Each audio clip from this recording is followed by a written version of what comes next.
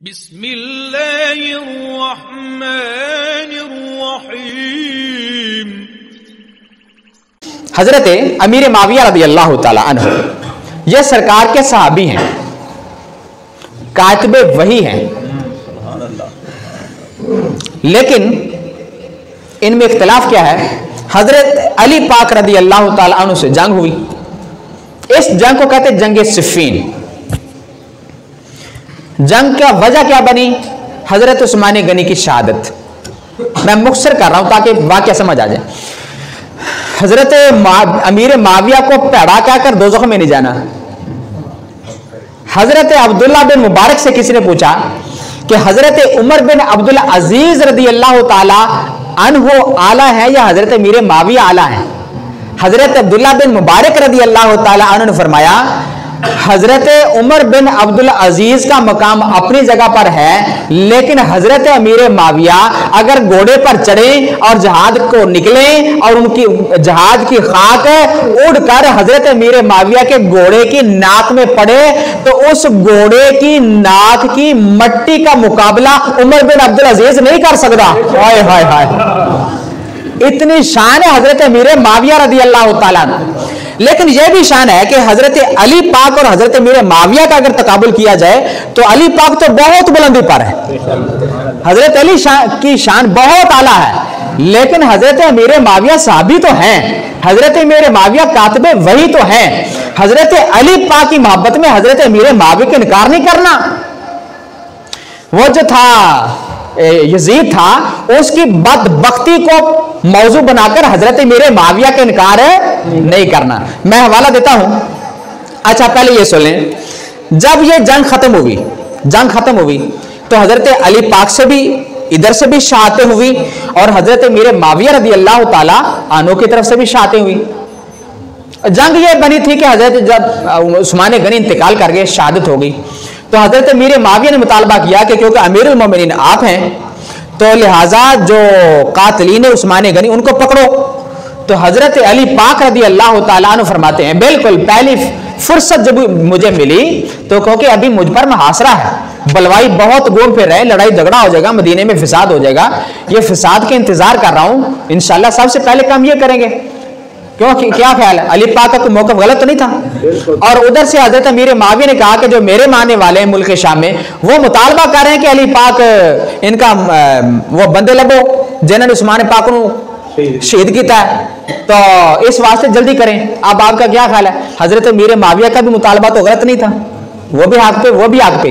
तो लिहाजा हम अगर यहाँ करें कि अली के मुकाबले में क्योंकि आ गए थे, इस वास्ते हज़रत मीर माविया को बुरा भला कहना शुरू कर दो। कतन कतन भी नहीं। ये सुन जब जंग खत्म हो गई, मैं एक वाला पेश करता बस बाकी इंशाला फिर से। जंग खत्म हो गई तो एक बंदा हज़रत अली पाक दे कोल आया। अली पाक दे कोल आया कह लगा, हजूर मैं जंग देखता जो असी जान पढ़ते भी उ जान पढ़ते फैसला हो गया जी। सरकार जिम्मे अस नमाज़ पढ़ते वह भी नमाज़ पढ़ते असी कुरान की तिलावत वह भी कुरान की तिलावत। तो ऐ की वजह है? उनके मकतूल भी हुए, हमारे मकतूल भी हुए। इसमें आप क्या कहना चाहते हैं? तो हज़रत अली फरमाने लगे, यकूल हम इखवान ना वो भी साढ़े भाई ने। वो भी साढ़े भाई ने। अल्लाह अकबर।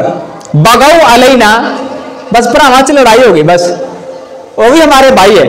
और एक और मुकाम पे हज़रत, यही मामला जब पूछा गया, सरकारे अली पाक रदी अल्लाह तनो से तो हज़रत अली रदी अल्लाह तनो ने ये जुमला कहकर लोगों को तसली अता फरमा दी कि जनाब, उधर भी मकतूल बन गए थे, इधर भी शहीद हो गए।